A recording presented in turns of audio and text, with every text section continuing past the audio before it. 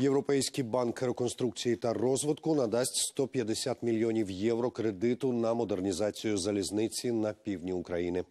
Відповідне рішення ухвалили на засіданні ради директорів напередодні.